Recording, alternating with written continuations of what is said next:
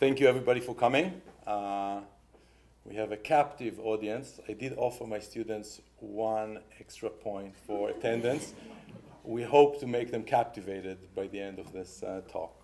Uh, thank you, Brian, for inviting me to talk. That's, uh, you know, it, it, calls for reflection, so you need to think about, you know, where you've been, what, where you're at now, where you're going. Uh, so, um, what I study in sport uh, is how people um, think about cause and effect. Uh, what's, uh, what's unusual about sport is other things that we, um, we, we, um, we encounter or we, we're exposed to is that we see how the game develops. We see the whole, uh, we have a narrative of um, how the two teams compete against each other, how they try to uh, overcome each other, uh, how they try to uh, develop certain strategies. Uh, and then we come up with a certain notion of what led to what. Uh, sometimes this notion uh, is correct, is empirically supported, at other times it's not. so I would say that a main focus of my study in sports, in sports psychology, is to see if indeed there is empirical support to some of those notions that we develop in terms of cause and effect. Um, so that's very broadly. Uh, let's now talk, and I'll show you some other research aside from the, uh, uh, from the airball research later on and show you the, this pattern of uh, looking for results. So uh, the airball shot, okay? Here it is in front of you.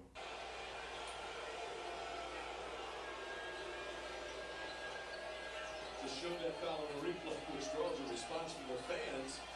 Take over on the screen. 10-point game. Three by Booker. Air ball. That's fine. If you're Maryland, you say, okay.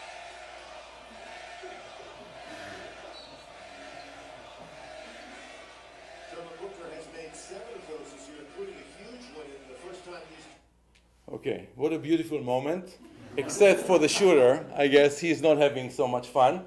Uh, but it seems that everybody else is having fun. Uh, so uh, first mention of the airball shot, the term is uh, in the 60s, the late 60s, actually coming from California. So this is the shot, airball shot. Uh, in terms of the airball chant, the response by the crowd, uh, that is credited to a game between North Carolina and Duke, quite appropriately, a few years after. So what we're going to look at uh, is the airball shot from different perspectives. So um, first thing that we did is we went to uh, basketball players here at USD and at SDSU, and we asked them about their airball shots, uh, how frequent it is, uh, does it hurt them, do they pay attention? Uh, that's the first thing. So memories, conception that basketball players dealing with the airball chant and the shot they had to deal with. Then we conducted observational and archival research. So uh, we looked at the crowd. How did the crowd respond? When was the um, response uh, stronger? Um, under what circumstances? And then we looked at the players. Did the, the, the airball chant, the ABC, influence the performance in the subsequent shot? Uh, so that's the, that encapsulates the, um, the series of uh, studies I'm going to show you next. So uh, the airball shot needs to be uh, uh, analyzed in the context of the home field advantage. The home field advantage is the, the, the consistent, robust pa pattern that we find that home teams do better than away teams. And that could be for, for a variety of factors. One of them is the crowd, having a partisan crowd that is supporting you, that potentially can put pressure on the uh, referee as well, seems to be working to the advantage of the home team. So A, A, ABS is from now on the, the shot itself. ABC is the chant that comes subsequently. And if we're talking about the uh, home field advantage, obviously you need to recognize that when a player by the home team launches an airball shot, an ABS, there's not going to be any chant, usually. Okay, so uh, this is something that is within the location, the locale of where the game is being played. So uh, we uh, again went to uh, the teams at USD, the basketball teams at USD and SDSU, and we asked them uh, where are we more likely to see uh, an airball shot. And uh, quite convincingly, almost all of them said in an away game. some said equally. Nobody said in a home in a home game. that makes sense, right? Because um, potentially you know the court better, right? You, are, you practice there on a daily basis. Uh, that's not the case when you go and play uh, an away game. Uh, but it's also possible, it's also possible that the recollection is skewed because of the crowd's reaction, right? Because when the crowd is chanting, following, it registers, right? And we have to recognize that in sports, there are many ways in which biases can prevail.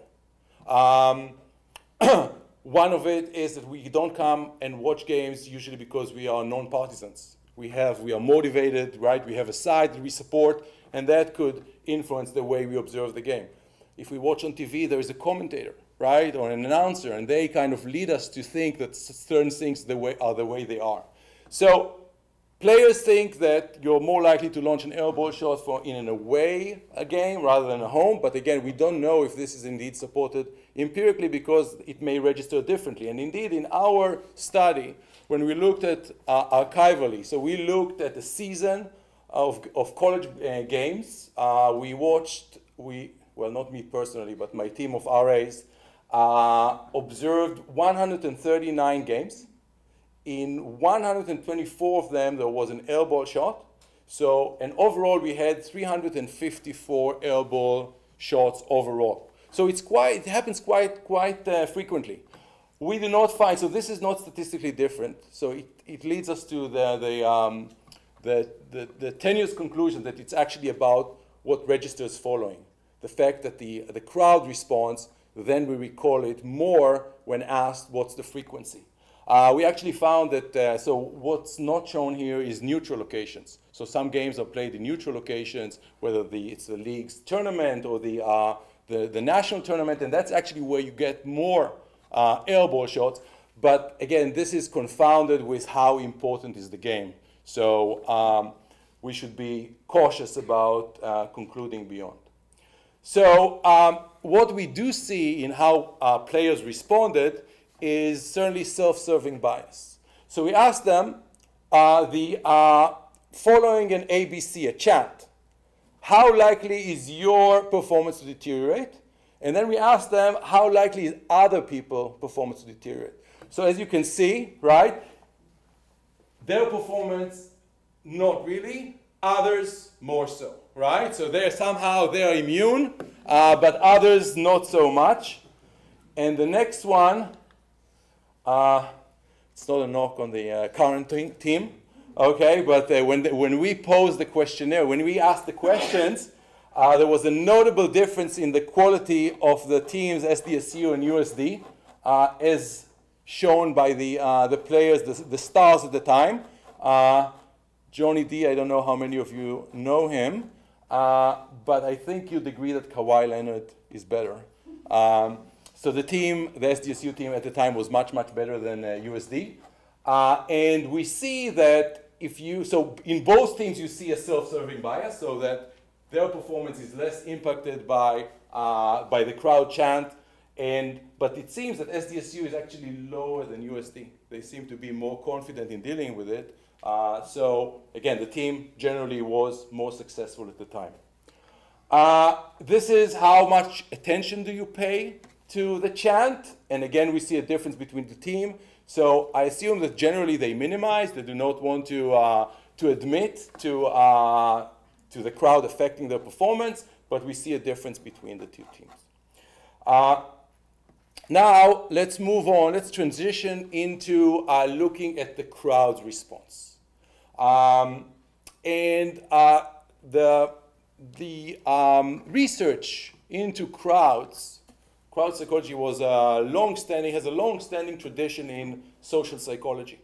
Uh, Gustav Le Bon, who wrote uh, the first dedicated book to uh, crowds, uh, didn't have very good opinion of crowds uh, impulsive, uh, irritable, incapacity to reason, uh, absence of judgment, and so on. I think his notions were a little bit influenced by the fact that in France, years back, if you saw a crowd of people coming at you and you were of a higher social uh, class, your neck was in, in trouble. So I think that might have been influencing his conception of, uh, of crowds. Um, so uh, obviously crowd noise is the, one of the pillars of the home field advantage. Um, what's great about the airball shot is it's a, such a crystallized stimulus response moment in time. Usually when you have crowds, it's chaotic, it's noisy, you're not sure exactly what is the crowd uh, pointing their attention to, what are they responding to, but this is, as you could see from that uh, one example, this is, you know exactly what happened and you know what they're responding to. Uh, so uh, why, uh, why do they chant? One of the reasons, obviously, is they try to impact the performance of the player on the, on the, on the court. But there are other reasons why they chant. So um, enhanced attachment towards other uh, fans in their camp, increase confidence, co collective efficacy, and just general stamina. Uh, but uh, we are going to focus on, uh, on the attempt to influence uh, airball shooters. Uh, so as I mentioned, um, we watched, against not we, my RA's 139 uh, games. We, in most of them, we had an airball shot. Uh, the breakdown is 131 were launched by away players, 114 were by the home players, and 109 occurred in neutral courts. And I should uh, credit my uh, co-author, Damian Vera, who was a student here and then went on to be um, to do uh, an MBA at UCSD. Uh, without him, this project, which was a, a big project, wouldn't have happened. Uh, so, the, so 124, 35% of the total airball shots, the crowd chanted at least once. Okay? In most cases, the chanting included only one sustained episode after which the crowd relented. But sometimes they keep on going after the same player. So immediately following, they chant. And then if they really feel that they are into it, whenever the player gets the ball again on offense, they will chant again, air ball, air ball, to remind the player. Again, this is not very frequent, but it happens. Uh, so the average when an ABC was heard, the, AB, uh, the, the player launching the, the shot was subjected to 5.36 unique chants. Air ball, air ball, air ball. Five of this is the this is the mean, and you have the standard deviation and the range. One of them was subjected to 38 times air ball. Uh, I don't know. Uh, okay, so this is the, uh, the breakdown of where air balls are launched. Um, if we uh, try to, uh, to be more, uh, so this is probably a better depiction. Uh, most of them, 45% plus, are beyond the three-point arc. 33, so about 34% are between the paint and the arc, and about 21% are in the paint. Uh, and then we looked, so now we are looking of whether, so it's a regression analysis, and we are looking at only away games, only away games, because again, we should not expect the crowd to chant airball in home games, and whether it did or it didn't, right? So it's a binary logistic, yes or no. Not this, how sustained it is, I'll show you how sustained it is later on, but this is yes or no. And we looked at the following variables. So those are the predictive variables, right? So we know crowd chanting yes, no. Uh, whether the player was a starter or not, that was one uh, variable that we looked at. We, we, we were wondering whether the crowd is likely to target the starters. Those are known to be the stronger players. Maybe those are the ones that you really need to shake their confidence. Or maybe they'll go for a non-starter, maybe a weaker player, and maybe those are the ones that are more likely to be harmed by the chanting. Uh, we wanted to see whether the crowd is sensitive to the shot taken by this player before. So maybe if he already missed one, they're going to go after him even more doggedly because they know that this is likely to trigger uh, lesser of a performance. Uh, by the way, I didn't say that. If you have questions, if I'm not, if something is missing in, uh, in my description, raise your hand and let me know as, as I speak. Um, then we looked at whether uh, the possession was maintained. So sometimes they, of course, they don't try to shoot an air ball, but sometimes when, when an air ball is shot, it makes for a chaotic scene because everybody is expecting the ball to bounce off the, or either to be made or to be bounced off the, off the rim or, or the, the backboard. When it's, when it's, an, when it's a, an air ball shot, it just Nobody is expecting it, and sometimes it actually falls into the hand of an offensive, another teammate, an offensive player, and that's, that's just golden. That's usually just putting it in the basket, right? So what's the outcome? And again, the outcome you have to realize is nothing of the intention of the player. The airball shooter is trying to score a basket, right? But sometimes haphazardly good things come out of it. Uh, then we looked at continuous variables, so we looked at crowd density we did um, attendance over capacity of the stadium uh, to see whether, obviously, if they are closer to each other, if there are no gaps, right, the, the message can travel uh, better and they are likely to have a sustained or more a, a response. And the last variable is the airball distance. Okay, are airballs launched from afar more likely to trigger an, air, an airball chant versus those um, closer, closer ones. So here it is in front of you, the, uh, the determining p-value by which we live, psychologists. Uh, and the two uh, variables that we did find an association, right? So this is a regression. It's not an experiment. We do not uh, randomly assign variables, so we cannot say this is leading to this, but we can just report an association between variables. And the two variables that we found an association with is the outcome, right? So if haphazardly it falls into the hands of a teammate, and then likely to be scored again, right? Then they do not chant, okay? And another one is the AB, ABS distance. So whatever is below 0.05 is considered significant, uh, the distance. So those shots airball shots launched from the three-point line or further away, not the three-point, further away are more likely to be subjected to chants.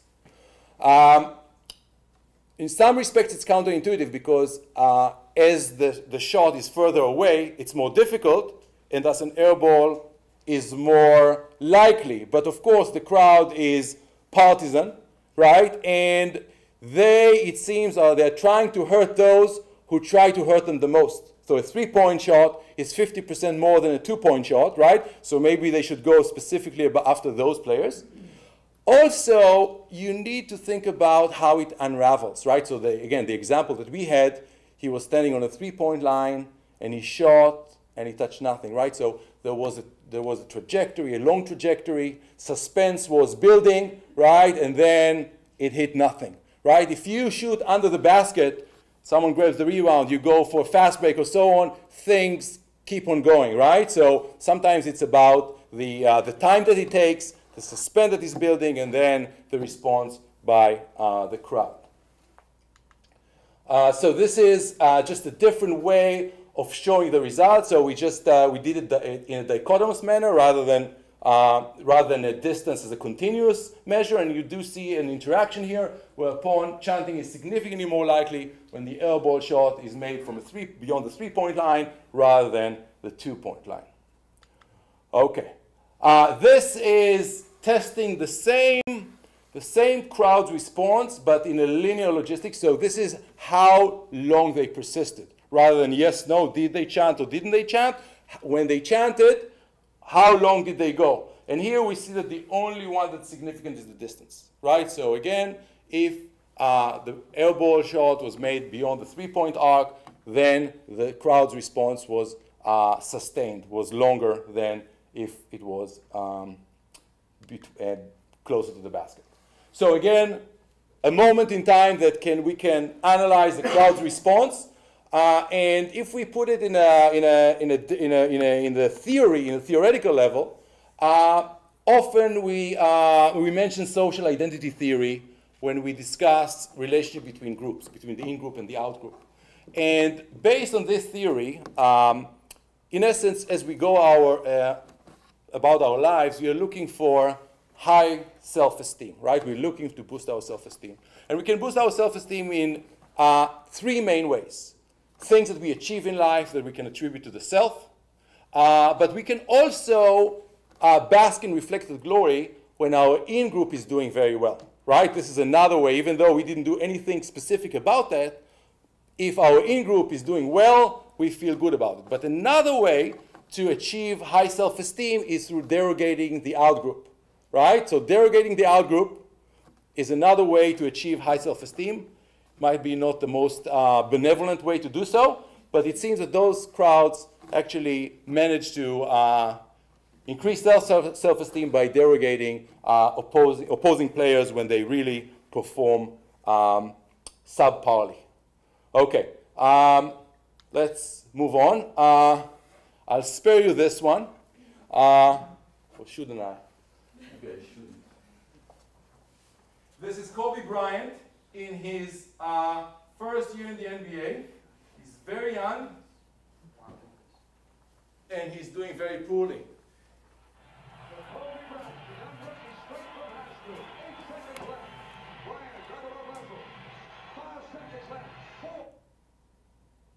Oh. Okay, luckily for him it stopped.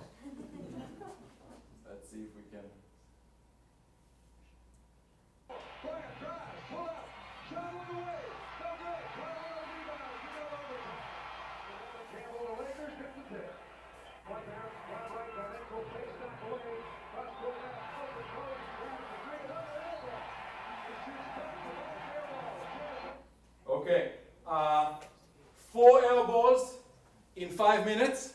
Okay, that's quite an achievement.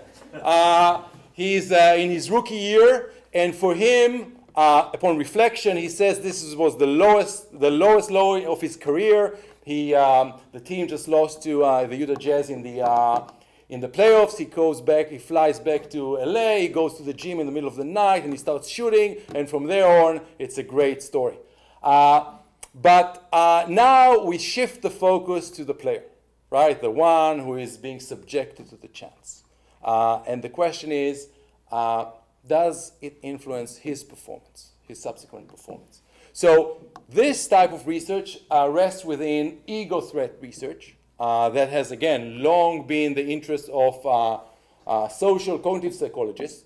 and the problem with most of this research is that it's done in the laboratory. And what they do is they bring you in and they give you a test. And uh, you're randomly assigned to be told, oh, you did atrociously. So obviously they don't check what your response is. Or you've done superbly. Okay, random assignment. And then they test your performance on the subsequent test. Right? And then they, they assess whether ego threat uh, influence your future performance. Uh, I think that this type of study has a limited external validity because it's not really clear whether the uh, participants care about the type of test that they are given. Um, and if they don't care, again, the, the, the, the manipulation is not a strong one. Uh, what we know about research in sports is that uh, the participants, the players, in archival research, they try hard and they know the rules which I'm not sure is true. I also conduct laboratory research. I'm not sure. Okay? Uh, but I, we know that uh, the participants in, in, in, those studies really try hard and they know the rules. So, um, sports, again, allows the study of performance in, uh, in, in real, in naturalistic setting, when we know that the players cherish their uh, success and failure is considered a genuine. So uh, in terms, again, of uh, when players are targeted, we see that uh, chants are significantly more likely to happen in away games rather than home games. So sometimes it does happen in home games when the two teams are um, close geographically. So you will have some uh, students travel to the uh, to the uh, away game, and it's going to be an, a home game for the for the for the shooter. Um, this is the number of chants. Again, much, many more in the away than the home. Uh, and again, we looked at the following uh, variables. And what we tested here is the performance of the shooter in the shot subsequent to the air ball shot. Okay? Um, so we looked at location. So again, there is correlation, there is an association between home and away and chanting, but it's not 100%. So you have games, away games that there is no chanting, and you have home games that there is chanting again if, if fans travel to that location uh, from an away uh, location. Uh, we looked again, so we, so we looked at them separately. Location is one, uh, yes or no, home away, crowd, airball chanting, uh, whether the player was a starter, uh, the density again, so uh, uh, attendance over capacity, and season shooting. So now we wanted to see whether better shooters following an air ball, are they able, able to recover better in the subsequent shot than those who are lesser shooters.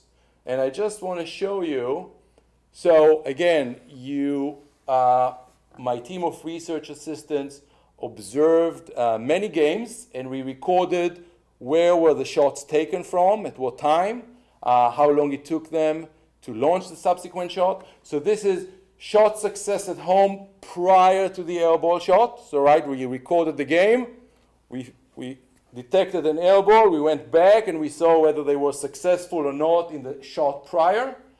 This is the uh, location of all the air balls at home. This is the shooting success at home after air ball. Okay? Now, this is the shot success uh, away prior to air ball. Those are air ball away and those are shooting success in a way following an air ball. So this requires a lot of work. Uh, and this is of interest. So we are looking at the difference in the subsequent shot. And the difference is indeed significant. So what we did find is that game location makes a difference. Whereas um, um, crowd chanting does not, right? So we could not find an association between the chanting and greater likelihood to miss the shot subsequent to air ball.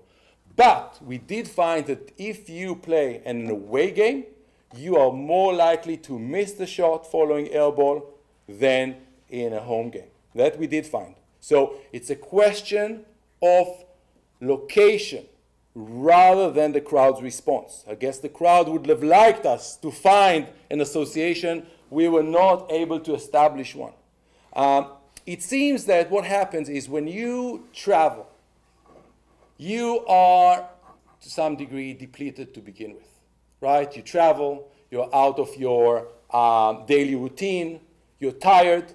Uh, when you shoot an air ball, you do not need the crowd to remind you or to let you know that you performed in a subpar way, right? You, you, you see what happened, right? Your shot did not touch anything. The crowd response seemed to be, in this case, redundant, right? When you are playing in a home game, right? You're well rested, right? And thus it does not influence you. But if you're in an away game and you're to begin with somewhat depleted, then the airball shot itself is likely to impair your performance and subsequently you are more likely to miss. Okay, that's the, that's the, uh, the take-home message. Okay, now. One question. Yes. Backing up a slide. What about the season shooting? Right, so, so right, right, so that's, that's a good, that, it's good that you uh, remind me. Season shooting does seem to provide a buffer so that better shooters, better shooters seem to rebound better from airball shots as opposed to uh, worse shooters. Okay, so this does provide a buffer. So what we, uh, yeah, so, yeah, so that's the, uh, now what we have to be careful about when you do this type of research, you need to be careful um, to look into broader uh, forces that might be at play, and you may conclude mistakenly that what you were looking at was driving the effect, but it might be much broader effect. So what we need to look at is the home field advantage in general, right? Because it might be, so we are looking at the shot following the ball, right? And we see differences. But it might be that those differences are predicated on the home field advantage. It's nothing to do with the airball shot, right? We just built a great story here, a great narrative about the airball shot, but it might be that any shot that you're going to look at, right, is predicated on the home field advantage, right, or the home or uh, away field disadvantage, and it's not based on the airball shot. That's why we looked at the shot prior to the airball. and you see that the uh, the shot, right, prior, we do not see those differences. We see those differences only in the shot subsequent to the airball, and this gives us greater conviction that it's the experience before the airball that brought about those changes subsequently rather than the general airball uh, phenomenon that might be driving the effect. So, uh, I mentioned that. This is in line with ego depletion. So again, the point I'm trying to, to make here is that um, it's about um, whether you're depleted or not. If you're in an away game, uh, you are more depleted, you have less resources to deal with uh, pressure, uh, and thus you are more prone to, uh, to perform not as well when you uh, don't do to begin with uh, very well. Uh, but again, we do not find the connection with the crowd chanting specifically. We find it whether uh, you played a home or away game. Uh, so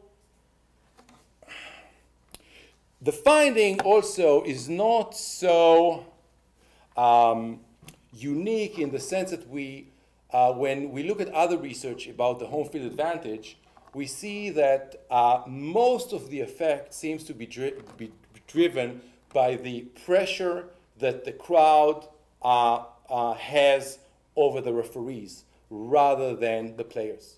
The players are trying their best, right? It's kind of easier for them. They know who's their rival, who's their opponent. They go at it and they try to do their best. And they expect the crowd to be uh, at times antagonistic or at times support, supporting. It's pretty, pretty easy. The, uh, the people that have the hardest time dealing with the pressure by the, by the crowd are actually the referees, right? Trying to maintain objectivity is really, really hard, right? Going at someone where you know what other roles are, you know that you need to do your best in order to, to win, is rather easy. Trying to maintain objectivity is really, really hard. So uh, I'd like to show you, so here I'm going to show you a series of studies that extend beyond the, uh, the, free th the, the airball shot, and again, with the attempt to try to um, to support or uh, not support conceptions that people have about sports, about cause and effect. So um, I don't know if you know this guy. He retired a few years back. Ed Hochuli, uh, the bicep, uh, the biceps uh, referee. Uh, uh, so you always need to know when to exploit opportunities. So his daughter was a student in my class. Said, "Oh, this is the time where NFL officials will answer my questionnaire. Otherwise, who cares? Uh, and we asked them about their uh, conceptions of uh, what drives the home field advantage. What do they think is driving? And we gave them a list of factors. Uh, and then we asked NFL fans what they thought. And you see that there is quite, quite an agreement on fans influencing the player. They perceive that to be the strongest uh, factor, travel, weather. Where they differ is fans' influence on officials, right? So NFL fans think that this is a credible, I mean, it's lesser than the others, but a credible source of influence driving the home field advantage. NFL referees, no, they don't. They think that they are somehow immune. So we see again ego threat and how you uh, try to deal with it and you try to minimize uh, others' effects on you as you perform in sports. And I'll show you another example soon. So uh, this is the number of games decided in error. Error referees, you see the NFL officials in three leagues think that they are significantly less than NFL uh, fans. Uh, another uh, topic that I explore uh, consistently is gender. Uh, and um, of interest to me is how competitive women are in comparison to men. Now, it's hard to, uh, to ask the question because obviously men are more powerful than women physically and they can overwhelm them. Uh, so uh, you, the question is, but competitiveness has nothing to do with physical strength. So we were thinking, which sports can we look at that can assess the competitiveness of men versus women that has that doesn't have the physical component? And uh, we decided that we're going to look at rifle shooting. Uh, and our first our first thought was that let's go to the Olympics, right? That's where the best shooters in the world um, perform. Let's look whether there are differences. But what we, what we found out is that they shoot from a different distance and they have different number of attempts. So it's really, really hard to compare between them. So we went to the NCAA ranks. Uh, in the NCAA, they compete one against the other. Uh, and we looked at the, uh, the, the um, national tournament, the best shooters in the NCAA ranks and we looked first at the team performance. Uh, and there's no difference between males and females in shooting ability uh, along those seven years. Uh, and then those, the best ones in the team competition, go to compete individually, right? So, uh, and when you compete individually, it's harder than when you compete in the, uh, uh, within a team. And then we looked at individual performance of males and females, they compete similarly. There's no, there are no individual differences. There are no gender differences between them. And then when we uh, explored a little bit further, we learned that they used to compete in the Olympics one against the other, up until 92. In 92, something happened. For the first time, a woman won the gold medal. And that could not happen. So what they did is in 96, women did not compete anymore. In 2000, it emerged as a separate, segregated sport where, again, they shoot from different distance and, from, uh, and they have different attempts. So this is really blatant uh, bias. Uh, and I'm happy to say that in the next Olympics, uh, they're actually going to compete one against the other. I would like to take the credit that our, my study is the one that uh, made the difference, but it would be a little bit of a show off. Okay. Uh, uh, again, ego threat. Uh, this is, um, so I don't know how much time we have. Should I, I can, I have several, few more. So uh, this is uh, a quote from uh, an NFL kicker, um, Lawrence Tynes. from the Giants, and he was referring to icing the kicker. Okay, so icing the kicker is when the opposing coach is asking, when it's a crucial kick, is asking for a timeout uh, before uh, the execution of the kick. Now, usually we think of getting more time as a good thing, right? Whenever I tell my students, you have two more days to submit your homework, they are delighted, uh, which I actually did this week. But uh, in the NFL ranks, it's considered a hindrance. And supposedly, uh, what happens is that in the edit time, the, free, uh, the, the, the timeout is not intended for any, any other reason but to ice the kicker. So supposedly the kicker now has to deal with the edit time to contemplate what's going to happen if he misses this crucial kick and how his life is going to turn really badly. He's, not going to, he's going to be unemployed and so on, right? So uh, it's, it is thought as a, as a hindrance. And uh, he said uh, perfect coaches are going to learn not to do that, to ice. I don't know what the statistic is, but it would be interesting to see if someone did a study. So he was challenging me, but he didn't know that. I think you'll find more makes than misses after a timeout, just a guess. So again, ego threat, they say, oh, we love being iced because it gives us time to assess the wind, to, um, uh, to wave to our girlfriend, whatever it is, right? It's, it's a good thing. Uh, we actually found in this case that icing the kicker is actually detrimental. So what coaches are doing. So this is pressure kick was defined as one minute or less to the end of the game when the kicking team was behind three points or less or during overtime. And again, an archival research, and we find a significant difference of uh, 14%, where of, obviously you control for distance. Distance is crucial. Uh, if, if a timeout is taken uh, by the opposing coach, the performance it deteriorates significantly. Um, this is not the case when your own coach is asking for the timeout. So um, you could postulate what, what's going on there. Obviously, it's not an experiment again, so we can just postulate, but the act itself seems to be uh, working and is detrimental to uh, uh, kickers. Uh, few more. So um, this is, uh, as a student, as a psychology student, I remember that the first study uh, that I was presented with was this Loftus and Palmer study, uh, which um, is quite famous also uh, beyond psychology circles, where uh, participants are shown a crash between two cars and it's labeled as either how, and the question is following, uh, how fast were the, the, uh, the cars were going when they contacted each other, hit each other, bumped or collided or smashed into each other. And supposedly, the, the verb used to describe the collision influences the uh, estimation of, of, speed. And as you supposedly increase the magnitude, right, of the, of the verb involved, you see higher speeds involved with the same, when you observe the same, the same collision between two cars. So uh, uh, we decided to look at it uh, through uh, a different prism, prism, sports. And in hockey, players tend to glide towards each other uh, and collide.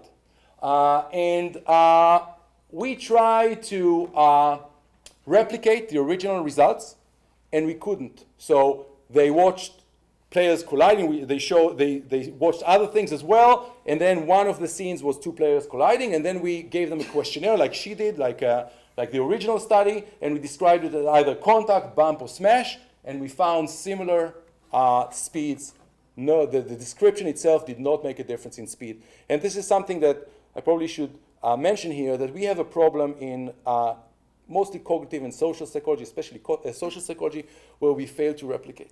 Um, um, I'm going to plug in an event that we're going to have next uh, semester. We are bringing uh, Professor uh, Brian Nosek, who is a replication expert, uh, to uh, provide to shed some data, to shed some light on the replication crisis that we have in psychology. So failure to replicate. However, when we added a commentator so rather than describing it after the fact, commentators, announcers, they do the work while they were colliding. He either described it as a contact, bump, or smash. Here we found differences, but in the opposite direction that the original study found, whereupon smash is actually the least in terms of speed as opposed to contact. So it might be that the descriptions are context specific. Because, for example, contact, contact sports is, denotes much strength in this specific uh, domain, right? Whereas maybe contact might be denoting something weak in other contexts. So um, let me see, do we have, okay, the last one, I think. So uh, uh, this is actually not published. This is something that we are working on now. Uh, and uh, as Brian said before, uh, one of my interests is in aggression and violence in sport. Uh, and the NHL is unique in that it allows players to fight. Okay? You are in any other of the major leagues, if you fight, if you fight you're out, you're ejected. And so, so players don't, don't fight because they want to be on the field, they want to they want to they want to play well, and they want to get good salaries. In the NHL, in order to be thrown out of a game, you need to fight three times. Okay, so what do they do? They fight the maximum two, and then they don't do the third one. Uh, but uh, it is so ingrained in the culture that there are many reasons. So, so fans and the league developed reasoning why to maintain the practice. It has nothing to do with the game, right? Um, and uh, one of those, one of the reasons uh, that uh, is provided is the momentum shift argument. That supposedly, if your team is not doing very well, uh, if you get into a fight and you win the fight, you prevail over your opponent, you hit them as hard as you can, they fall to the ice, the other players see how much you sacrificed, and how well you fought, and this brings about, uh, um, I don't know what to say, but you know, they, they, they rise to the occasion and they manage to win the game. So uh, this is a question that we uh, looked at, and uh, I would say that the culture is so uh, perverted that there are dedicated websites that you can vote to who won the fight. Okay, so for example, this is uh, uh, hockeyfights.com, and you can vote whether this guy won the fight, this one, or was it a, was it a draw? Okay, and so we looked at their how they voted. So we did home minus away, and then we looked at who won the game eventually. And we do not find, so I, I conduct this research with Michael Apostol, uh, and we, uh, we, we, uh, we use quartiles. So this is when the uh, away player really won the fight, right, based on the voting from the website. This is when they wanted some. This is when the home, uh, home fighter wanted some, and this is when the home, home fighter wanted decisively. And generally, we do not see that winning the fight uh, makes a difference on the final outcome of the game. So I think the league really should, even, even, and even if it did, it obviously would not morally uh, be, you know, that, that shouldn't be part of the game, but uh, we hope that this study with others uh, will um, uh, cause the league to change its, uh, its um, rules because one has to recognize that fighting is mostly done by enforcers. So there are specialized players that do the fighting. It's not all of them do the fighting, there are enforcers. And those enforcers are just like boxers. And in recent years, um, four or five of them uh, either committed suicide or ended their life prematurely. It's a little bit murky, but they show CTE, they, so, they show signs of CTE. So this is, has real consequences, and there are victims to this practice. It's not just, uh, um, it has, again, real victims. Okay, so uh, I'm done. Uh, thank you. That's fascinating. Thank you so much. We've got about 10 minutes for some questions. So please, um, on the floor. Yes, Cameron. Um, I was wondering if you looked at uh, how long, um, with the airball effect, if you looked at how long before they took their next shot. Because it might be that it's their confidence doesn't affect their sh- whether they make or miss, but affects whether they want to take another shot. Yes, we did. So uh, thank you. That was not an invited question. Uh, yes, uh, yes, we did. We looked at time. So we thought maybe they just wait longer, right? Their, their confidence has been shaken. They're going to take time and then they'll come back. So we didn't find differences in time, and we also did not find differences in terms of the distance that the shot is launched in the subsequent shot, right? So another way to increase your, uh, to build up your uh, confidence again is to attempt shots much closer to the basket where you, you, you, you're more likely to succeed. So no difference in, in, those, two, in those two elements, yes? Was there any difference between overall shooting percentage, home game versus away, compared to the air balls? Or did you You, look at that? we did not, but I mean, generally there is a difference in, based on the home Right, field but advantage. was it any different, because you saw. You- You're talking, you're in talking, you're talking about the game overall, or you're talking, we, we, what are we talking Well, about? yeah, if, if a team shoots fifty percent at home and forty-three percent on the road, was that Mhm. correlated at all? Uh, so we did, specifically, we did not look at it in our research, uh, but there is, generally, there is a difference that is predicated on the home field advantage. Yes? Uh, was there anything looking at the time of the time in the game when the shot was taken versus, you know, first five minutes, last five minutes, taking into account maybe some, some players come to the game a little bit too hyped up and will overshoot, and then towards the end of the game, start when fatigue starts to come in, Mhm. starts to affect how their, how their bodies react. So we looked at the uh, frequency of air ball attempts based on quarter, okay? And we thought if it it is indeed fatigue, air balls are more likely to happen in the last quarter. We did not find a significant effect, but it's not a very good way to look at it because you know players are substituting in and out. So we did not control for that. But general, as a general trend, we did not find more air balls in the end of the game as opposed to the beginning of the game. Are you gonna do a study on penalty kicks for soccer? Uh, I, I did not, I did not do any, uh, I did not, but there is, there is a line of research uh, looking into that because it's, again, it's a very um, it's a it, it's a unique situation, right? Where you have it, you minimize the factors, right? So you have the kicker, you have the goalkeeper, uh, and there's fascinating research coming specifically about penalty kicks, but unfortunately not from my own. How many of these kinds of projects are you doing in a semester? Ooh.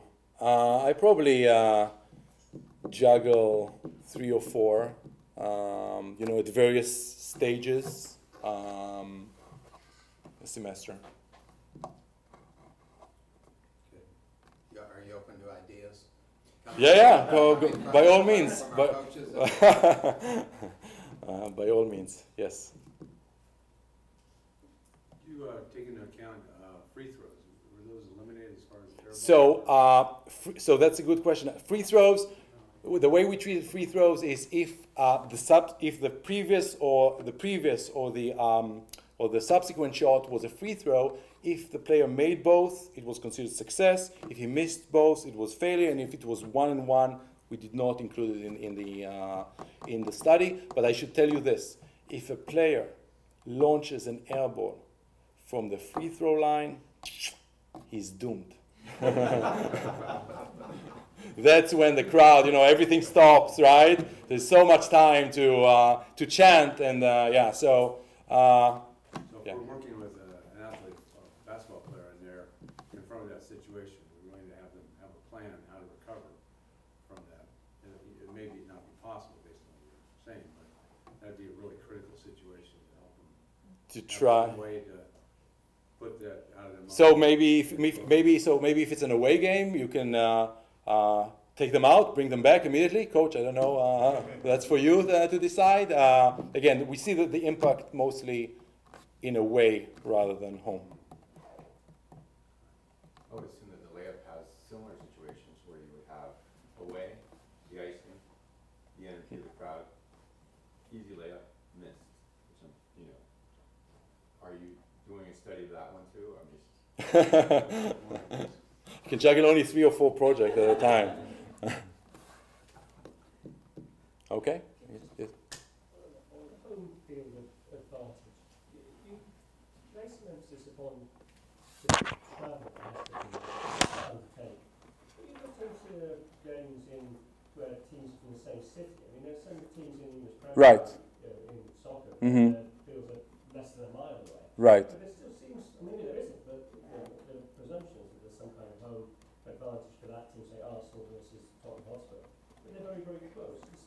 Right, so I, I know of a study that was done in the Italian league uh, about derbies, and that's actually where you do not see the home field advantage uh, because, again, you have the lack of travel, but you do have, so for if a so usually they share the same stadium, uh, so sometimes they share the same stadium, but they do get a different ticket allocation. So if it's considered a home game, maybe two thirds of the fans are going to be of your team, and a third is going to be of the away team. So we do not see the home and field advantage then. So there are different studies that support travel, and then do not. Then there are the other studies that do not do not find travel to be.